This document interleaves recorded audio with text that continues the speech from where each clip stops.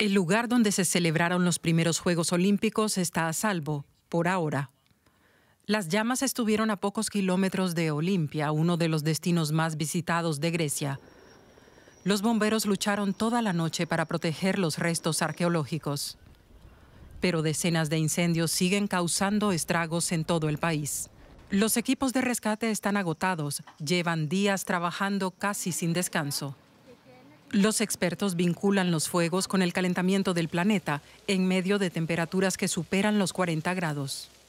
Las llamas están afectando a zonas que dependen del turismo en un momento crucial después de las consecuencias de la pandemia.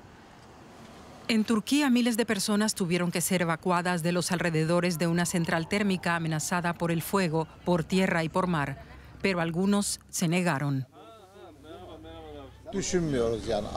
Si la situación se vuelve más extrema, nos iremos, pero no queremos ser los primeros.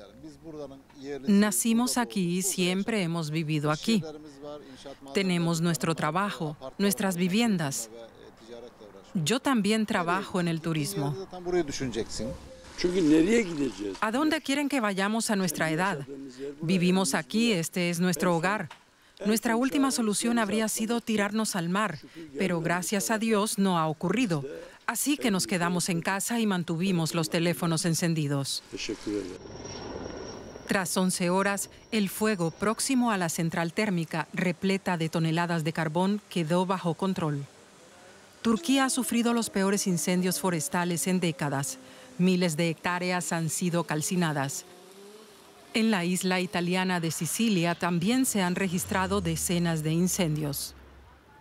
El calor extremo ha alimentado las llamas, pero las autoridades afirman que muchos han sido intencionados.